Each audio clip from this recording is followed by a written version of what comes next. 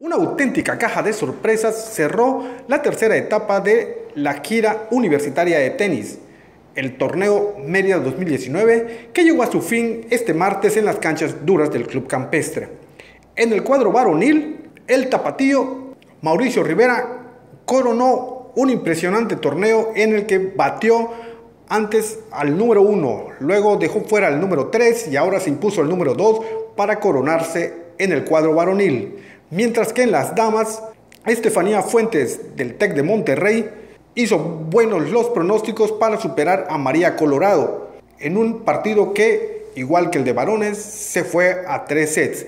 Estas son las palabras de Mauricio Rivera, el monarca del torneo, quien dedicó el triunfo a un desaparecido mentor al que apreció mucho en su estadía antes en Mérida.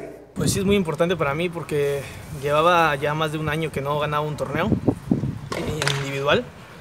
Desde que jugué mi primer torneo fue el que gané, entonces de ahí me costó, llegué a finales, semifinales, cuartos, así. Entonces me costó seguir el triunfo, pero en este torneo estaba muy enfocado más nada por un profesor que tuve aquí cuando viví, que falleció hace meses, entonces este torneo era muy importante para mí para, para dedicárselo a él.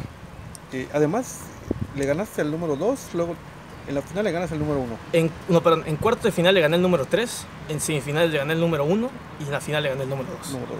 Carpenter es un pues sí, es un jugador bastante experimentado del circuito y pues más que nada, aparte de un gran amigo, es alguien que también vivió aquí conmigo en esas épocas, entonces es muy importante para nosotros estar en una final juntos y sobre todo compartir el resultado.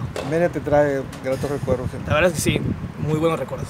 Eh, Viví aquí dos años, entonces es algo que estoy muy familiarizado en el calor, el nivel del mar y todo eso, entonces me ayuda mucho estar aquí de vuelta. Eh, y el nivel del, del torneo es muy elevado. La verdad es que sí es muy elevado. Eh, compitieron más de 70 jugadores de distintas universidades, como de México, de Ciudad de México, desde Guadalajara, Puebla y otras, otras entidades muy fuertes de, en tenis.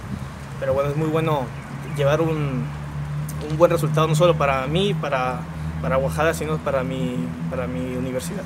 El, el, el profesor que, que te que fue tu guía aquí en Mérida, ¿cómo se llama? Armando Corona, era un profesor que nos ayudaba en la parte académica en la institución de tenis donde estuve aquí.